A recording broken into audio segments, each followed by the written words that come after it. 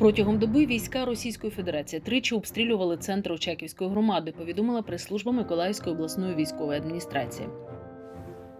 Підприємство Миколаївводоканал ліквідовує наслідки аварії на водомережі.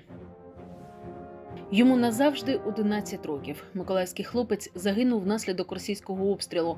Спогадами про сина його мама поділилася із журналістами Суспільного. За інформацією Миколаївської обласної військової адміністрації, за добу 4 червня о 14.02, о 17.59 армія Російської Федерації артилерією обстрілювала акваторію Очаківської громади. Поранених немає. Ввечері о 20.10 внаслідок обстрілу Очакова пошкоджені житлові будинки та господарська споруда. Поранених та загиблих немає. На решті території області, за даними військової адміністрації, обстрілів не зафіксовано. В Миколаєві на розі вулиць Чкалова та Маломорська 5 червня працівники Миколаївводоканалу проводили ремонтні роботи водомережі, на якій сталася аварія. Без води або з постачанням з низьким тиском залишається частина абонентів Заводського і центрального районів. Для виконання робіт були задіяні дві бригади підприємства, трактори, екскаватори, насоси. Також залучені інші підприємства, зокрема Миколаївелектротранс і Миколаївобленерго. Роботи планують виконати до вечора 6 червня, розповів майстер водопровідної мережі комунального підприємства Миколаївводоканалу Олександр Костогриз.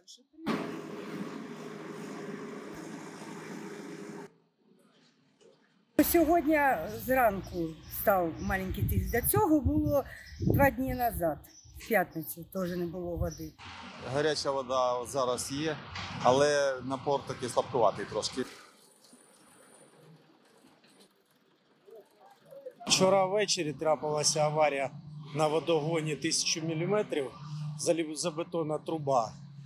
Е, ну, багато років вже їй не витримала натиску. Ми вчора перекрили її, тому е, дуже багато абонентів залишилось без води. Зараз проводяться ремонтні роботи. Якщо підуть мікротріщини, то прийдеться розкопувати ще далі і міняти всю трубу.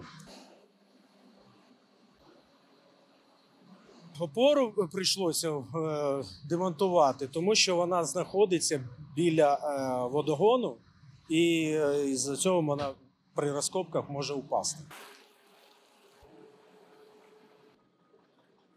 В связи с тем больше куда нет, некуда более зацепиться нам. Э, растяжку мы закрепили на дерево. Это допускается нашими нормативными документами временно. После выполнения всех аварийно-восстановительных работ опора будет восстановлена и сеть будет переведена на новую опору.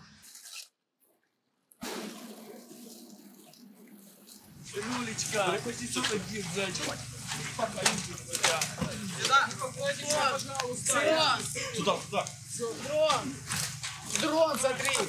Близько першої години в ніч проти 13 жовтня 22-го року в Миколаєві пролунали вибухи. Перша з ракет С-300 влучила в п'ятиповерхівку в спальному мікрорайоні. Так трапилося, що чотири поверхи відразу впали на мою дитину.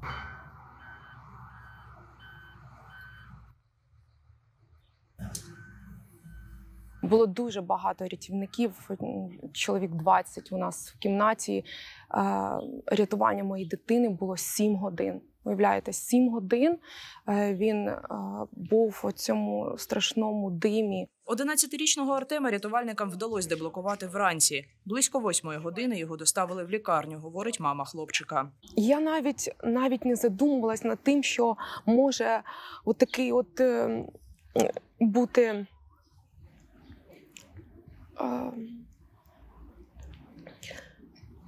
це вже таке завершення, е, що ось ну, той самий останній день був, коли ми його бачили, коли ми обіймалися в кареті швидкої, і він так сильно мене обіймав.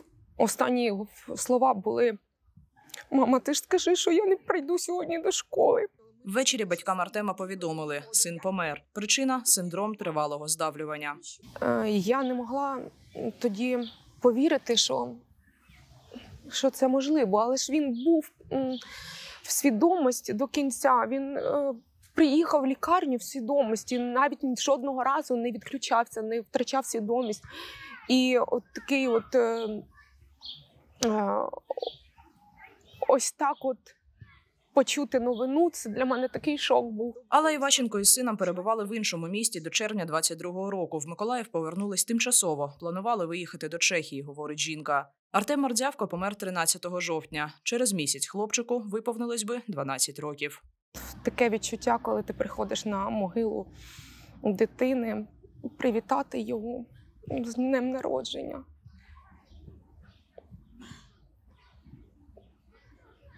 Як це?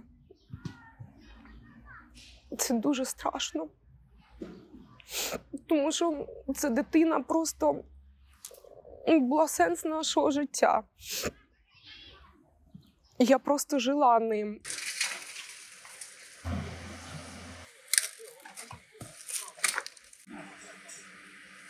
Валентина Гурова, Юлія Філімон, Суспільне новини, Миколаїв.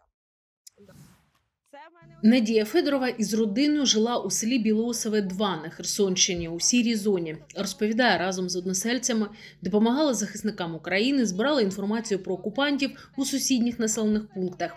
У травні 2022 року вивезли з під російських обстрілів двох синів. А коли у липні снаряди прилетіли до їхнього подвір'я, вся сім'я приїхала до селища Доманівка Миколаївської області. Там в мене воно буряк сходить, там воно кукуруза, це баштан я латочку посадила. Тут у мене морква, дивлюся, де-не-де вже вилазить. До кінця не буду, напевно, відкривати. Щоб... Ну, а так, оце я теплицю посіяла помідори. Ти готовий? Він сказав, що він готовий. Я готовий, так? Да? Головне, що він готовий зніматися. Ми не мішаємо. Ти в нас в головній ролі будеш.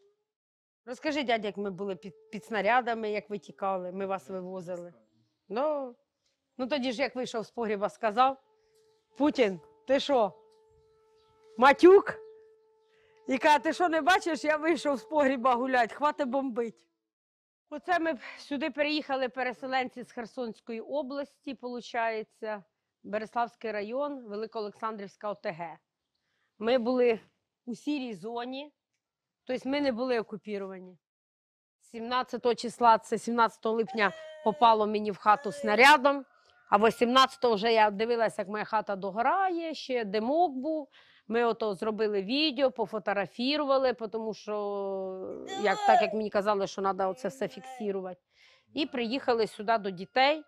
Тут мене громада вже зустріла, тому що е, тут до міс, місцевої позвонили, сказали, що їде жінка, яка допомагала нашим військовим, і треба їх зустріти.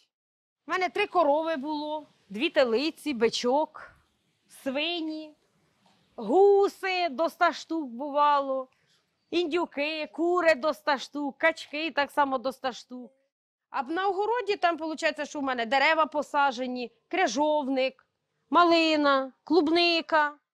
Кустів 40 е, трояндів там посаджено, десь то кустів 70 хризантем, е, 15 різних сортів кліматіса, гібіскуси різні кольором, тюльпанів кольором, навірно, штук 100. Хто головний? Напевно, я. Я все время була головна. І не тільки тут в родині, але де і папа, і мама, серед всіх братів, сестер до сих пор е, вони мене всі поважають, всі люблять. І якщо десь е, ми чи за столом сидимо, чи ще, якщо я сказала тихо, всі сидять тихо. До, до цього я дуже гарно ставлюся, е, тому що кохаю її, тому, тому і добре до, до цього відношуся. Ну, хтось должен надавати постійно толчок. Чоловіка, щоб не сидів голодний, бо він нам нужен здоровий, бо треба заробляти гроші на будинок, бо ми залишилися без житла. 20 мільйонів гривень потрібно, аби відновити Миколаївський академічний художній драматичний театр, який постраждав внаслідок російського обстрілу 22 вересня 2022 року. Про це сказав директор, художній керівник Миколаївського академічного художнього драмтеатру Артем Свистун під час брифінгу щодо завершення ювілейного сотого театрального сезону. У нас пошкоджена вщент і мала сцена, і пошивча майстерня, і гримерні кімнати, і театральний салон потрохи відновлений. Але хочу сказати, капітально ми вже відновили чотири гримерки першого поверху. Це наші е, власними силами, завдяки донатам і підтримкам людей. Ми на день театру відновили музей театру, і вже там граються вистави. Велика зала це пам'ятка архітектури 19 століття. На сьогодні я можу ствердити, що ми знайшли грантодавців, які вже е, хочуть підтримати щодо відновлення реставрації саме основної сцени. Але е, ви розумієте, що це пам'ятка архітектури, відповідна е, документація. Навіть зараз да, ми вже місяць чекаємо на відновлювальні роботи літнього майданчику, але це погодження по всіх інстанціях. Саме по великій залі ми плануємо в літній період, період відпусток, зробити ремонт, е, щоб усунути цю проблему, і головне поновити роботу нашої основної е, основного майданчика. У Новомиколаївці Первомайської селищної громади 4 червня відбувся благодійний концерт солістів народної оперно-вокальної студії імені Ніни Западинської Миколаївського міського палацу культури і мистецтв. Організували його волонтери Welcome to Ukraine Ростислав Перев'язко та Валентина Самофал-Рудницька. Мета збір грошей на допомогу 79-й окремій десантно-штурмовій бригаді. Під час заходу зібрали 7 тисяч гривень.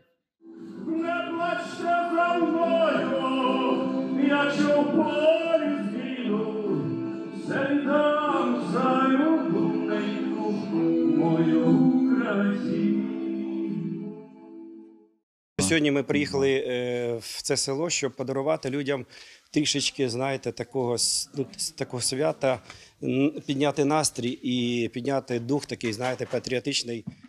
В програмі будуть звучати сучасні українські пісні, пісні, які давно вже війшли в українську естрадну нашу класику.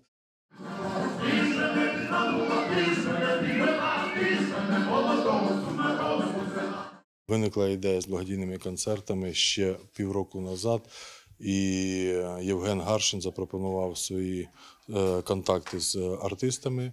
Їздимо з концертами по Миколаївській, Херсонській, Одеській області.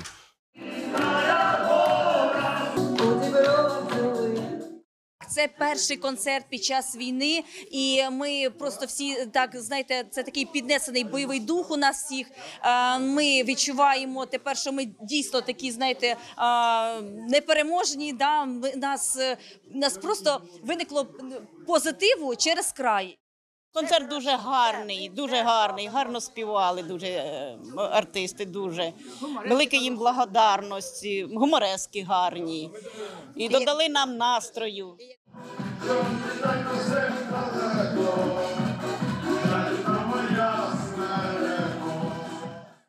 Всі люди в нас в селі були е, оповіщені через. Е, і також на п'ятихвилинках, які я проводжу теж да, вівторок, ой, в середу і в суботу. Ну і десь приблизно прийшло до 80 чоловік.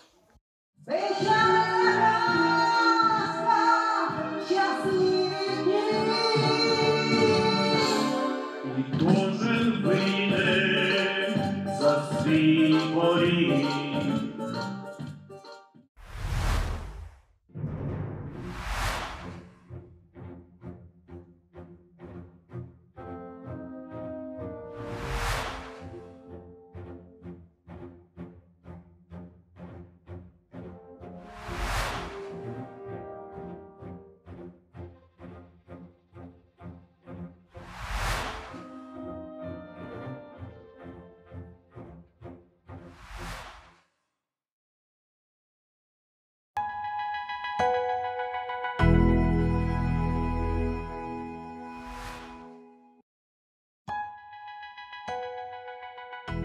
Ви дивитеся Суспільне Миколаїв. Підписуйтеся на Суспільне Миколаїв у соцмережах.